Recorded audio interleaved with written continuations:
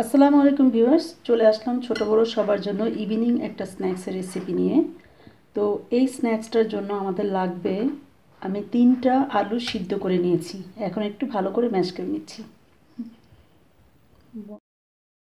দুই টেবিল চামচ ব্রেড ক্রাম দিয়ে দিচ্ছি এবং দুই টেবিল চামচ কর্নফ্লাওয়ার দিয়ে দিচ্ছি। দিয়ে দিচ্ছি স্বাদ মতো লবণ, গোলমরিচের গুঁড়ো দিচ্ছি অল্প একটু লাল মরিচের গুঁড়ো। খুব ভালো করে উপকরণগুলো মিশিয়ে দেব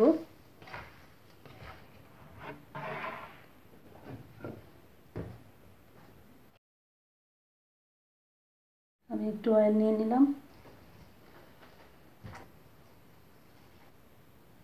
টমাটোর গোল নিয়ে নিলাম।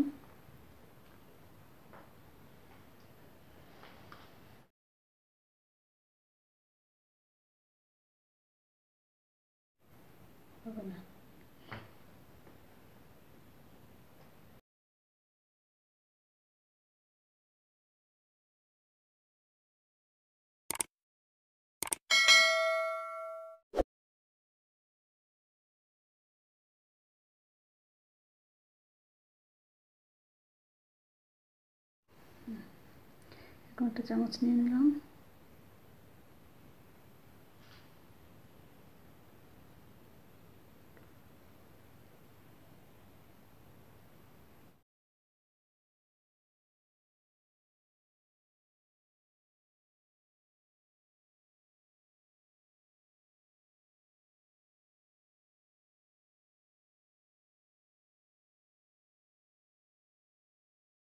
মিডিয়াম হিটে গরম তেল করে নিয়েছিলাম, তারপর সেখানে এখন দিয়ে দিচ্ছি।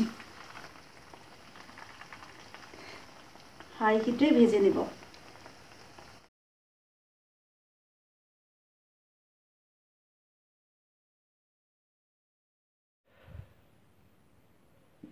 বেশি দিলে?